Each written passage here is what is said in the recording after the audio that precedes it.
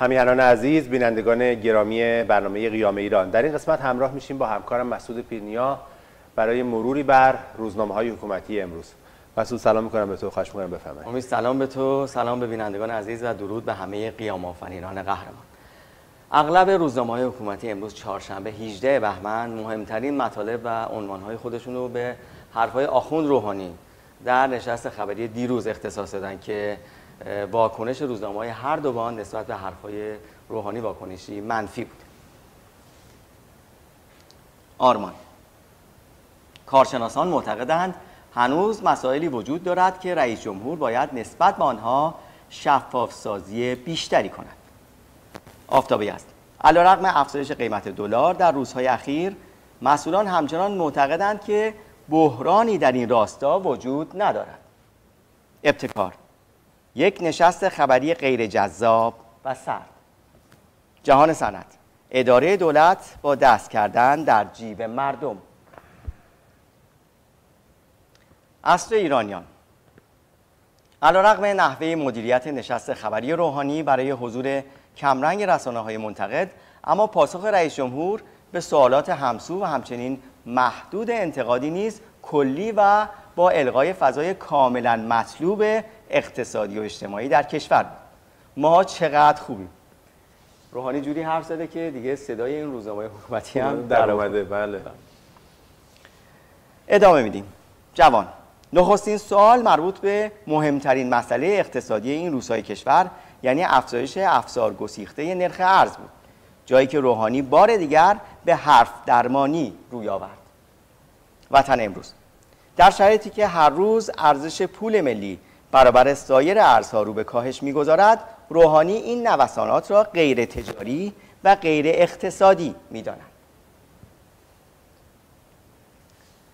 در روزنامه های باند روحانی با یادآوری شرایط جهانی و تشابه تاریخی اون با زمان شاه به تمکین کردن در مقابل خواسته های منطقه‌ای و جهانی توصیه کردند.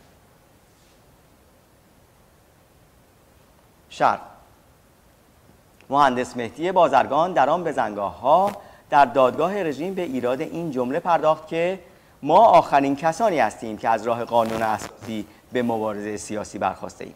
مفهوم و منطوق و دلالت این گزاره تاریخی و استراتژیک چیزی جز این معنای روشن نبود که در صورت عدم اعمال رفرم در جامعه قهرن کشور به ورطه تعارضات و مبارزات مسلحانه خواهد لغزید.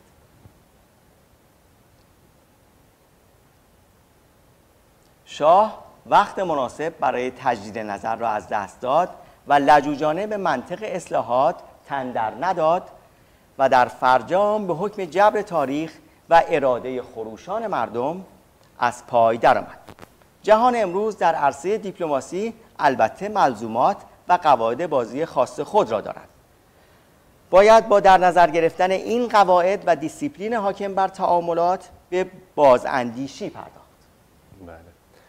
مسعود جالبه که خیلی از روزنامه های رژیم وضعیت فعلی رژیم رو مثل همین نمونه که یکیشو خوندی البته زیاده با وضعیت روزهای پایانی شاه خیلی مقایسه می‌کنن این روزا و دقیقا مثال درستی هم می‌زنن بله. خود روحانی هم اعتراف کرده این. بله بله آرمان امروزه که بیشتر صحبت ها حالت دیپلماتیک به خود گرفتند بهتر است به سمت جلب اعتماد بیشتر جامعه جهانی و جذب سرمایه های خارجی پیش برویم. باید طوری رفتار نمود که کشورهای جهان همچنان اینا را دارای منطقه تعامل با دنیا بدانند.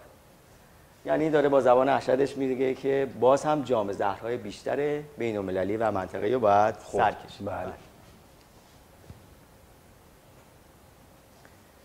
ادعای وجود عدالت و آزادی در نظام آخوندی برای رسانه های باند حاکم هم موضوع تنز و مسکه شده. به دو نمونه از روزنامه های دو باند توجه کنید جهان صنعت. قاسم روانبخش عضو جبهه پایداری معتقد است در کشور ما آزادی کامل وجود دارد.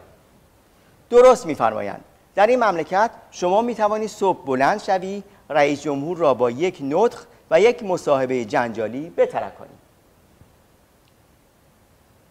می توانی به رئیس مجلس در شهر خودش و در حرم حضرت معصومه با مهر و کفش حمله کنی. وزیر امور خارجه را که از سفر امضای برجام برمیگردد می‌توانی با کفش به ماشینش حمله کنی. از دیوار سفارت و کنسولگری می‌روی بالا. کسی کاری به کارت ندارد. آزادی اختلاس هم که یکی از اصول مسلم و حقوق شهروندی است. یک نمونه دیگه از روزنامه سیاست روزه از باند دیگه. بنشینند تا صبح گوسفند بشمارند یک مقام آگاه. کسی که در خراسان دستش را قطع کردند دویست گوسفند دزدیده بود که در جراید نوشتند فقط سه رس گوسفند دزدیده است. با توجه به این اظهار نظر و در نظر گرفتن این نکته که قیمت هر رس گوسفند حداقل 300 هزار تومان است با 3 هزار میلیارد تومان چند گوسفند می شود خرید؟ الف 100 هزار رس گوسفند ب یک میلیون رس گوسفند جیم ده میلیون رس گوسفند دال خیلی گوسفند. خب با این طنز تلخ که از یک طرف حاکی از جنایت و از طرف دیگه فساد دستگاه حکومتی می‌رسیم به پایان گزارش خودمون از روزنامه حکومتی. امید با تشکر از خواهش من من تشکر می‌کنم از تو و گزارش فشرده خوبی که دادی و برنامه رو ادامه میدیم